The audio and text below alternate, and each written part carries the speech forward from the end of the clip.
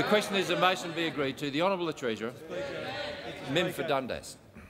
After two weeks of, of, essentially studied abuse by the opposition to the government, in particular the Prime Minister, what we've just heard from the Leader of the Opposition and the Leader of the National Party are the most pathetic contributions I've heard in such a weighty debate in my 22 years here. I can, I can say, Mr Deputy Speaker, that uh, Sir John McEwen and Mr Doug Anthony would wince if they, they, they would never be capable of such a pathetic performance as you as you had. And as far as you're concerned, unless you're scripted, you're useless. Order. Unless you're scripted, you're useless. Oh no, Jack Lang will be very happy with my performance as old son. Very happy. Now let me tell you, Mr Speaker, unless he's in with a question in his hand written by someone on his staff, and with a speaker, he's useless. Useless, absolutely. In fact, Mr Speaker, it's an insult to one's professional skills to have to be in such a debate to have to be in such a debate with these pathetic, uh, with these pathetic. Uh, what the leader of the opposition did was produce a noisy, empty speech, a, an, a totally noisy, empty speech. He thought bluster and volume and decibels were to there for, for, for substitute for quality, quantity to substitute for quality, and amplitude and noise to substitute for real argument. Because he is the accuser he is the accuser in this, this, this matter, and after two weeks, what did he come up with? Well, I'll tell you what he came up with, uh, Mr, Mr Deputy Speaker. He said the government should govern for everyone, not just its special friends, was his first point. His second point was on the Prime Minister's inability to remember, what he referred to as a selective amnesia. On three, his third point was doing deals, and his his, his pathetic closing remarks were about the Liberal Party having a declared code of conduct. And finally he said there was no change of policy on their part, and I presume in relation to gold. Now let me, let me uh, deal with those points. And these are the essential points. Mr Speaker, let me deal with those points. His first point is the government should govern everyone and not just special friends. Senator Chaney has made a virtue of the fact that he believes in special friends and distortions which he describes that he supports. That is special friends, special friends. Oh, we know all about your friends on the racetrack, pal. We know all about your racetrack friends, pal. Mr. Mr. Deputy Speaker. Member for Mr. Mr. Uh, Mr. Deputy Speaker. Um, uh, Order. The, the member for Kooyong. The member for Pearce has made all these things about distortions, Order, about distortions. And yet the Leader of the Opposition got the, got the gall to talk about special friends when they've in fact changed their policy and removed their leader to change their policy. And he talks about special friends uh, and governing for everybody. Then he gets up and says, with the Leader of the National Party, we should be discussing, he was fuming at the end of his speech about how we should be on national issues. The great national issues, he said, and a, recession, and he referred to the 1930s. But what's the MPI about? The need for Prime Minister to give a full and coherent explanation of WA Inc. That's your great national issue. That's your great national issue. Then he referred the Prime Minister selective amnesia. But what, of course, did uh, the member for uh, the member for Bennelong say when he was asked about uh, the meeting with Mr. Bond? I can't give you a verbatim account of every minute detail of a conversation. And could you have a conversation four years ago? I mean, that's not an issue. But I can remember the substance the discussions. Now there we are. He's he, as I said in the House earlier this week, the member for Bennelong blew the, the opposition's case apart when he said, don't, you can't impugn the Prime Minister over selective amnesia when I myself am saying I can't be expected to remember what I said in a meeting four years ago. That's what he said. That's what you've said. That's what you've implied. That's what you've implied. Absolutely what you implied. Of course it is. There's your quotation. There's your, there's your quotation. And, um, and, uh, and, uh, and then uh, and then, uh, and then uh, there was no, and then you've got to talk about no change of policy when we find all these press releases from senators about all the glitters and your letter. And then we have this very interesting, uh, very interesting issue of Senator, Je Senator Durack actually telling the Senate, actually he's telling the Senate about the written letter undertaking from the member for Bennelong two weeks before the undertaking was actually published. He's in the Senate saying so. I've got the references here into the Senate debate of Senator Durack saying this. And yet you've got, and yet you've got, the, you've got the absolute temerity to try and suggest there was no change of policy on your part. The fact is, the fact is, Mr Deputy Speaker, the Leader of the Opposition parades himself as a person of integrity.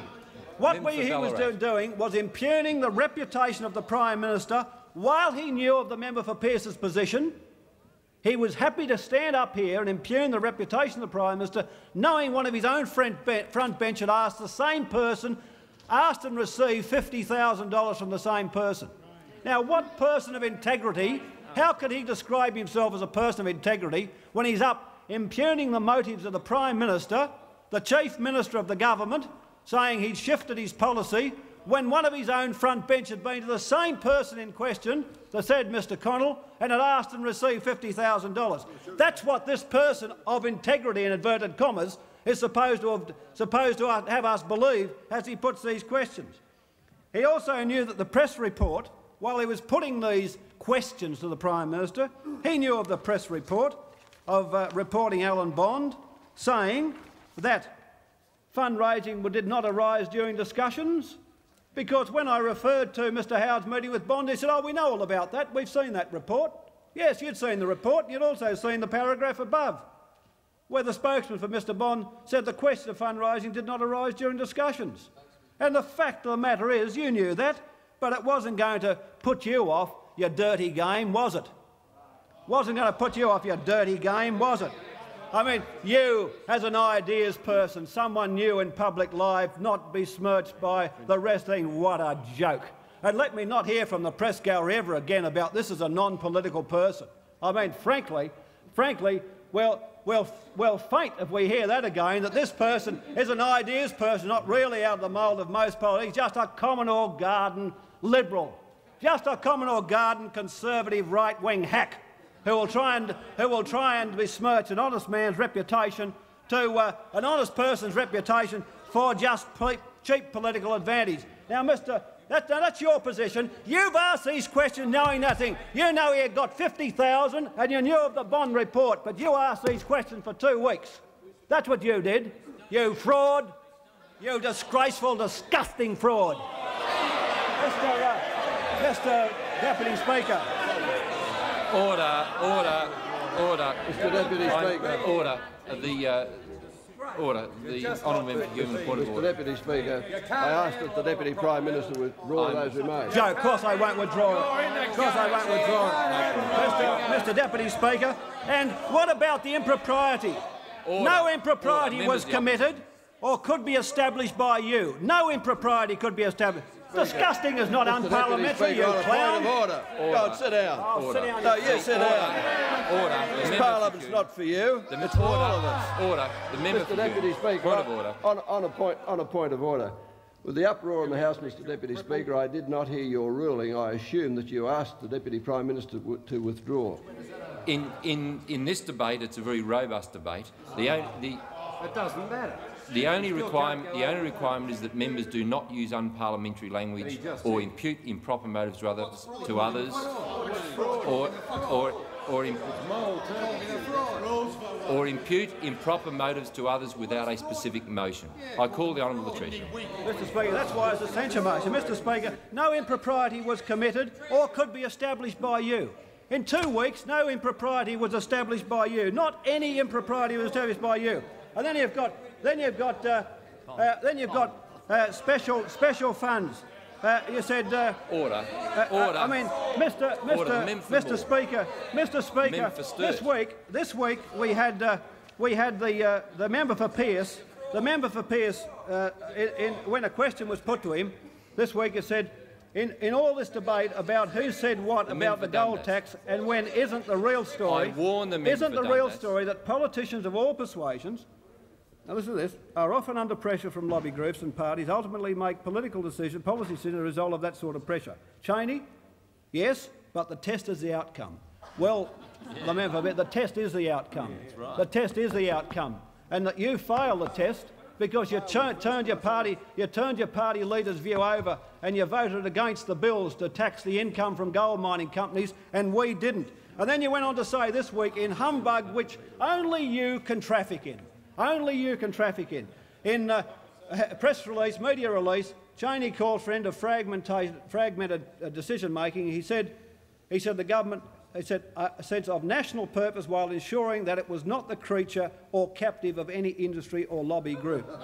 he said, the, said government had a key role to play in this process by giving some sense of national purpose while ensuring that it was not the creature or captive of any industry or lobby group. You see, it's only somebody with no pride whatsoever, it's only someone with the front of a Liberal frontbencher could get up and say, after you have had your, had your record paraded in front of you about distortions you favour, about securing funds while impugning another man's reputation, that you can get up in a speech to the environment, a long speech, and say that there should be a sense of national purpose while ensuring. I mean, this is the sort of humbug which just makes us sick. And it's particularly made us sick about you, because you've played this little goody-goody role for years, running around the thing, sort of red Fred, you're not really a right winger, a bit tinged, got a sort of social conscience. When he had the social security job, did this, did that. Oh, he's not a bad guy. He went round the gallery, you know, one of the sort of Lemensian type liberals, where in fact what we find about you is you're just really red hot. You're, into, you're up to your ears in any matter that can advance the partisan interests of your party. You've got very hard right-wing views and you push them for all they're worth, but worse than that, you protect constituencies, as you put it. And then you go on with this humbug, this disgusting humbug. Now, Mr Speaker, this is what we've got. This is what we've got from these people. I mean, this is a disgusting opposition, Mr Speaker. This is not an opposition with a skerrick of integrity. It's up there. It's up there attacking, attacking the government for everything, for the Prime Minister suggesting he changed the policy. Look, look. There was a, a crude interjection from uh, one of the Victorian members down here about the Costigan Royal Commission. He made the charge the Prime Minister that the Prime Minister had closed it down. Yes, and it established the NCA in its place.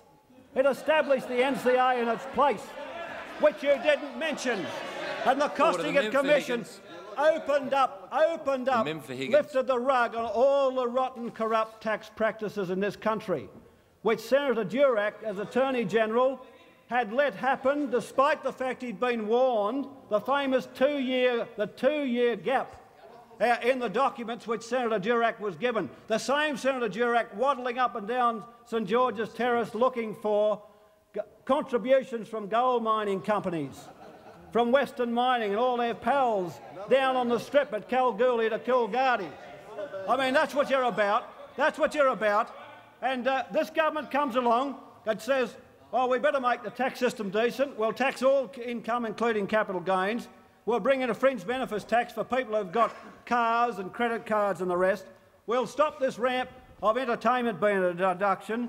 We'll actually tax lump sum so we can set up a decent retirement incomes people for the uh, system for the whole of community. We'll actually put an assets test on social security payments so people of real wealth don't get it. And we'll tax gold. No, no, you would never borrow that. You've punished us for every measure. Politically, you took us to elections. You've punished us for every measure.